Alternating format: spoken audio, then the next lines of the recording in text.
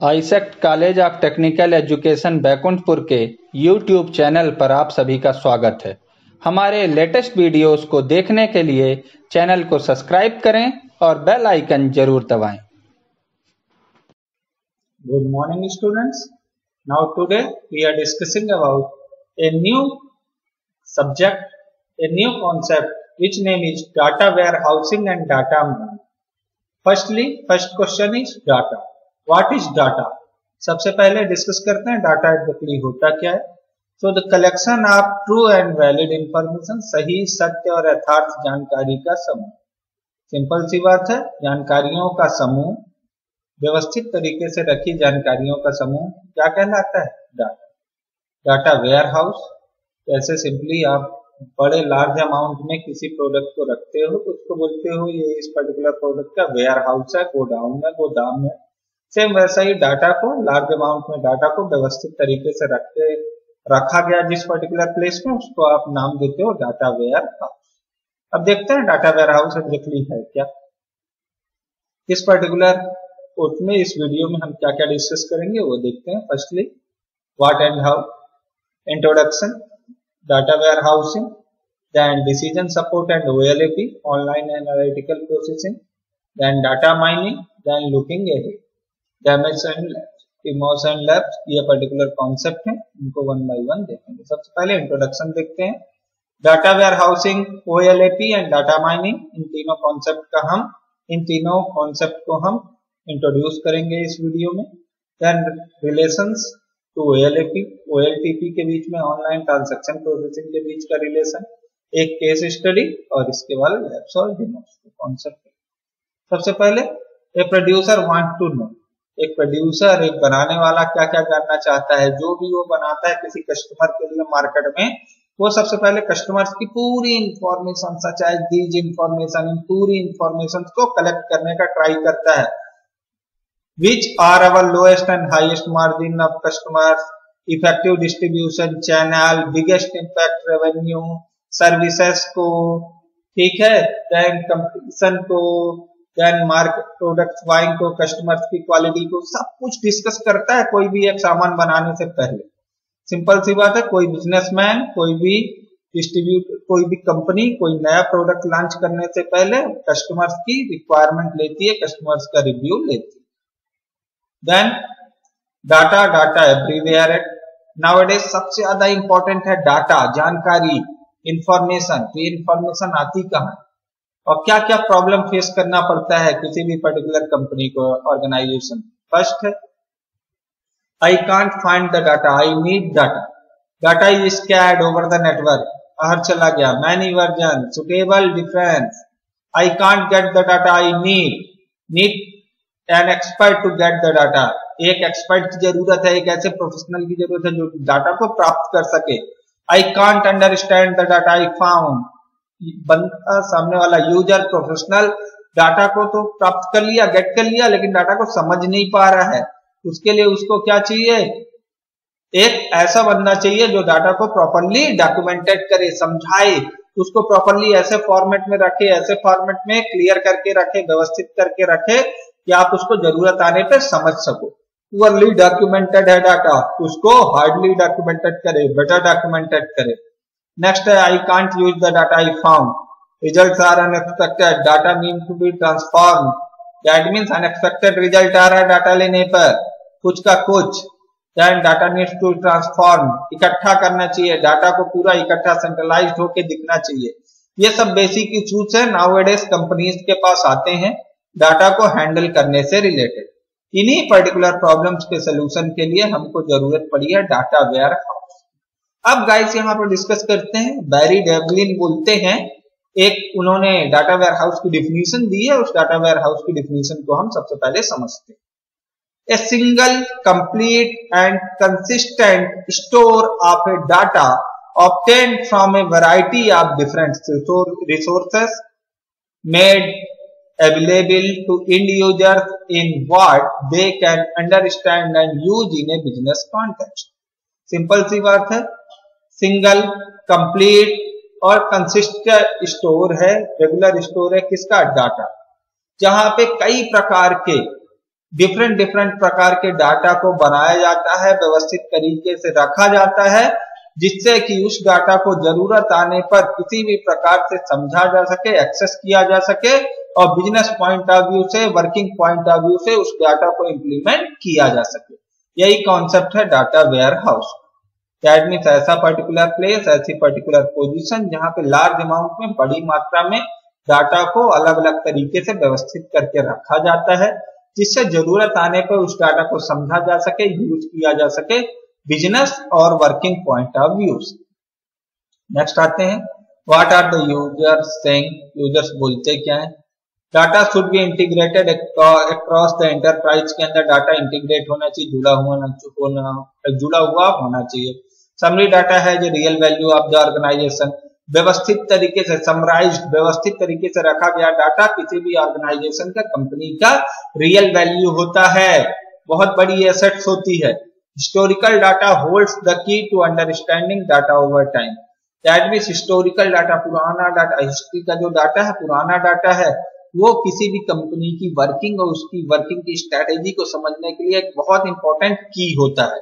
What if capabilities are required what if ठीक है? क्या यदि? ऐसा होता तो ऐसा हो सकता था। क्या यदि ऐसा होता तो ऐसा हो सकता था? वाट इफ़ कैपेबिलिटी और ये रिक्वायर्ड होती हैं डाटा वेयर हाउस के केस में। नेक्स्ट है guys what is data warehousing again Forrester research company है। इन्होंने क्या रिसर्च करके बोला है? A process of transferring transforming data into information and making it available to users in a timely enough manner to make a difference. That means, किसी भी normal data को information में कन्वर्ट करना दैट मीन्स उस normal data को process करना, और process करने के बाद नॉर्मल डाटा किसमें कन्वर्ट हो जाता है इंफॉर्मेशन को तो नॉर्मल डाटा को इंफॉर्मेशन में कन्वर्ट करना and making it available to users और उसको यूज़र्स के लिए उपलब्ध कराना एक लिमिटेड टाइम पीरियड के, एक लिमिटेड टाइम पीरियड के अंदर। यही कॉन्सेप्ट आपका क्या कहलाता है guys data warehouse evaluation इसमें इवेल्युएशन में देखिए 16 के केस में बैच रिपोर्ट यूज़ होती थी। 17 के केस में 70 के दशक में टर्मिनल एंड बेस्ड बीएसएस और EIS executive information system use होने लग गए। 18 के केस में desktop data access and analysis tools use होने लग गए, जिसमें query tools spreadsheets basically and so on और कई कॉन्सेप्ट हैं। बट 90s के केस में डाटा वेयर हाउस और integrated online online analytical processing engine का यूज़ किया जाता है, जो कि आपके डाटा को काफ़ी फास्ट स्पीड में हाई प्रोसेसिंग स्पीड के साथ में एक्सेस करने और डाटा में प्रॉपर वर्किंग कैपेबिलिटीज प्रोवाइड करते नेक्स्ट आते हैं guys warehouses are very large databases simply multiple small small databases को बड़े लार्ज अमाउंट में जोड़ दिया जाए then we can create a data warehouse look at this capacity के अकॉर्डिंग उनकी वर्किंग के अकॉर्डिंग उनकी स्टोरेज के अकॉर्डिंग डाटा वेयर हाउस को यहाँ पे डिफाइन किया गया है. Then very large databases nowadays जो कि लार्ज डाटा डाटाबेसेस आप लोगों ने देखे होंगे वॉलमार्ट का है, चौबीस टेराबाइट का। देन जियोग्राफिक इंफॉर्मेशन सिस्टम का है नेशनल मेडिकल रिकॉर्ड्स का है वेदर इमेज का है इंटेलिजेंस एजेंसी के वीडियोस हैं। ये पर्टिकुलर साइज़ दी गई है, इतने इतने साइज़ के डाटाबेस अवेलेबल हैं, आप लोग देख सकते हैं। Data warehousing is a process क्या प्रोसेस है? It is a process technique for assembling and managing data from various sources from the purpose of answering business questions, thus making decisions that were not previous possible.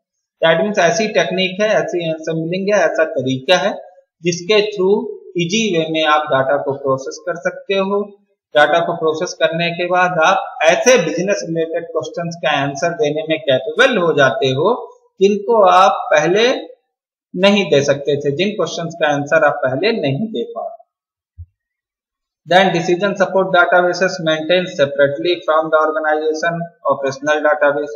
Decision support system के database हैं, ये आपके organisation में separately अलग अलग behave करते हैं अलग अलग स्टोर करके रखे जाते हैं, इनकी वर्किंग भी अलग होती है। Data warehouse data warehouse is a subject oriented first characteristic है भाई ऑलवेज डाटा वेयर हाउस क्या होना चाहिए? सब्जेक्ट के ऊपर बेस्ड होना चाहिए, जो वर्क कर रहे हो उसके ऊपर बेस्ड होना चाहिए।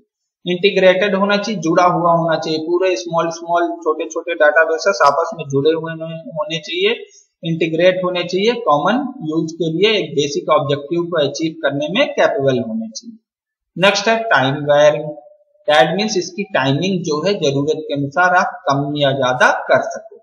ये वैरायटी होनी चाहिए फ्लेक्सिबिलिटी होनी चाहिए। नॉन वोलेटाइल जैसे ही आपने वर्किंग को एंड किया, काम को एंड किया, आपका डाटाबेस ऑटोमेटिकली मेमोरी से इरेज नहीं होना चाहिए स्टोर होकर रहना चाहिए डाटा वेयर हाउस क्योंकि आप दोबारा भी उसका यूज़ कर सकते collection of data is used primarily in organization decision making. The simple सी बात है डाटा का कलेक्शन डाटा का इंफॉर्मेशन का ऐसा कलेक्शन इसको प्राइमरी बेस में ऑर्गेनाइजेशन की डिसीज़न मेकिंग में हेल्प में लिया जाता है, जिसका यूज़ करके आप प्राइमरी बेस में किसी भी कंपनी के डिसीज़न मेकिंग को इजी बनाने के लिए यूज़ करते हो। यही कॉन्सेप्ट आपका कहलाएगा डाटा वेयर हाउस नेक्स्ट आते हैं explore farmers and future farmers and tourist explorers farmers and tourist इसको समझने की कोशिश करेंगे। सिंपली टूरिस्ट क्या करता है? Browse information harvested by the farmer that means tourist क्या करेगा? ऐसी इंफॉर्मेशन को सर्च करेगा, ऐसी पर्टिकुलर इंफॉर्मेशन को सर्च करेगा जिसको फार्मर एक्सेस कर सकता। है देन हार्वेस्ट फार्मर्स क्या करेगा? Harvest information from the access path उस एक्सेस पाथ को harvest information from the non access path non access path को फार्मर एक्सेस करेगा। कौन कौन से रास्ते हैं जाने के, कौन कौन से रास्ते जाने के लिए यूज़ किए जा सकते हैं। देन एक्सप्लोरर है उन अननोन प्रीवियसली अनएक्सपेक्टेड रिवार्ड्स को और डिटेल डाटा को क्या करेगा? हाइड करेगा। ठीक है? रोक देगा। दैट मीन्स ऐसी इंफॉर्मेशन जिसकी आपको ज़रूरत है, उन इंफॉर्मेशन को आपको देगा और जिन इंफॉर्मेशन की आपको ज़रूरत नहीं है, उन इंफॉर्मेशन को अवेलेबल नहीं करेगा। नेक्स्ट आते हैं डाटा वेयर हाउस का आर्किटेक्चर ये सिंपल सा डाटा मॉडल है, इसको आप एज इट इज़ देख सकते हैं। Relational database model entity ERP model है परचेस बेस्ड डाटा मॉडल है सी डाटा है या मेटा डाटा क्रिएबिलिटी है then data warehouse engine है ऑप्टिमाइज लोडर है एक्सट्रैक्ट क्लेंसिंग है एनालाइज क्वेरी इन पर्टिकुलर पूरे के पूरे कॉन्सेप्ट को आप देखिए, ये ओवरऑल आपका डाटा वेयर हाउस का आर्किटेक्चर को डिफाइन करता है। नेक्स्ट आते हैं data warehouse for decision support and OLAP data warehouse का आप डिसीज़न सपोर्ट और ऑनलाइन एनालिटिकल इंजन में एनालिटिकल प्रोसेसिंग इंजन में कैसे यूज़ कर सकते हैं, देखते हैं इसको। Putting information technology to help the knowledge worker make faster and better decision simple सी बात है इंफॉर्मेशन टेक्नोलॉजी क्या करती है? वर्कर को बेटर और अच्छा डिसीज़न लेने में हेल्प करती है। Which of my customers are most likely to go to the competition बिल्कुल कंपटीशन फेस नहीं करना पड़ता कस्टमर्स को सही और सही चीज़ मिलती है। What product promises have the biggest impact on revenue? That means इस पर्टिकुलर प्रोडक्ट का, क्या प्रोडक्ट का प्रमोशन ठीक है फ़र्स्ट मिलेगा। क्या प्रोडक्ट का promotion biggest revenue impact on revenue that means क्या प्रोडक्ट का प्रमोशन करने से आपका इम्पैक्ट आपका रेवेन्यू बढ़ेगा। ठीक है, क्या कस्टमर कंपटीशन के लिए तैयार है? क्या कस्टमर के सामने में आपके प्रोडक्ट के फेस करने में कौन कौन से कंपटीशन आ रहे हैं? थर्ड है how did the share price of the software companies आपके कंपनी के शेयर प्राइजेस आपके प्रोजेक्ट पे, आपकी वर्किंग में, आपके कस्टमर्स में कौन कौन से इश्यूज़ क्रिएट कर रहे हैं? ये कुछ ऐसे डिसीज़न हैं। ऐसे केस हैं जहाँ पे डिसीज़न सपोर्ट सिस्टम यानी कि आपका डाटा वेयर हाउस आपके डिसीज़न सपोर्ट सिस्टम को हेल्प करता है। First which of my customers are most likely to go to the competition कौन से कस्टमर्स हैं जो कि कंपटीशन मोस्ट लाइकली कंपटीशन पसंद करते हैं। Then promotion have the biggest impact revenue promotion का विज्ञापन का कितने ऊपर लोगों, कितने लोगों के ऊपर इफ़ेक्ट पड़ता है रेवेन्यू में क्या असर पड़ता है। देन शेयर प्राइस और कंपनी की रेपुटेशन का आपके प्रोडक्ट पे क्या असर पड़ता है। नेक्स्ट है decision support use the manage and control business manage और कंट्रोल करने के लिए बिज़नेस को। डाटा इज़ हिस्टोरिकल और पॉइंट इन टाइम सिंपल सी बात है हिस्टोरिकल और एक टाइप पे एक ही फोकस करता है, एक ही वर्किंग को फोकस करता है। नेक्स्ट है optimize for inquiry rather than update inquiry update करने के लिए ऑप्टिमाइज करता है रेडी रहता है। नेक्स्ट है use of the system is loosely defined can be ad hoc. That means loosely defined system को फ्लेक्सिबल सिस्टम होता है, जिसको आप अपनी रिक्वायरमेंट के अकॉर्डिंग फ्लेक्सिबल रखते हो चेंज कर सकते हो। Use by the managers and end users to understand and make चिटमेंट ये मैनेजर्स और end user that means users के द्वारा और मैनेजर्स के द्वारा यूज़ किया जाता है किसी भी बिज़नेस को, किसी भी प्रॉब्लम को समझने के लिए और उसके according better decision find out करने। Data mining data warehousing that means data warehouse that means बहुत बड़ी मात्रा में लार्ज अमाउंट में डाटा को आपने स्टोर करके रखा है। देन उस लार्ज अमाउंट में रखे गए डाटा में से अपने रिक्वायर्ड डाटा को निकालना, यही कॉन्सेप्ट है माइनिंग माइनिंग का मतलब होता है यहाँ खुदाई करना दैट मीन्स बहुत सारे रिसोर्सेस जो रखे हुए एक जगह पे, उसमें से आपके सही रिसोर्स को निकालना। यही कॉन्सेप्ट है mining then data mining we want to know. Data mining helps extract such information. Data mining का यूज़ करके आप कौन कौन से इंफॉर्मेशन को सर्च कर सकते हो, इस कॉन्सेप्ट में आप उन कॉन्सेप्ट को, उन इंफॉर्मेशन को देख सकते हो। सिंपल सा है which of my customers are likely to be the most loyal कौन से मोस्ट लॉयल हैं इंफेसाइज है एंटी यूज़र हैं। ओनली 2500 एयरलाइन माइंस कौन से, कोई भी क्राइटेरिया के अकॉर्डिंग इंफॉर्मेशन सर्च प्रोडक्ट के प्राइस के अकॉर्डिंग इंफॉर्मेशन सर्च ये पूरा कॉन्सेप्ट आप डाटा माइनिंग के through that means any kind of data retrieving जैसा डाटा आप चाहते हो, वैसा डाटा आप रिट्रीव कर पाओगे डाटा माइनिंग के एप्लीकेशन एरियाज़ डाटा माइनिंग के एप्लीकेशन एरियाज़ का है? फाइनेंस में क्रेडिट कार्ड एनालिसिस करने के लिए। इंश्योरेंस के केस में क्लेप्स और फ्रॉड का एनालिसिस करने के लिए। टेली कम्युनिकेशन के केस में कॉल रिकॉर्ड का एनालिसिस के लिए। ट्रांसपोर्ट के केस में लॉजिस्टिक्स मैनेजमेंट के लिए, कंज्यूमर गुड्स के केस में प्रमोशन के एनालिसिस के लिए डाटा सर्विस प्रोवाइडर में वैल्यू एडेड डाटा के लिए और यूटिलिटीज के केस में पावर यूजेज एनालिसिस के लिए। तो गाइस ये हुए हमारे बेसिक डाटा माइनिंग के यूज़र्स डाटा माइनिंग हमारा नेक्स्ट वीडियो होगा। डाटा माइनिंग के लिए आप वेट करिए हमारे नेक्स्ट वीडियो का thank you for watching us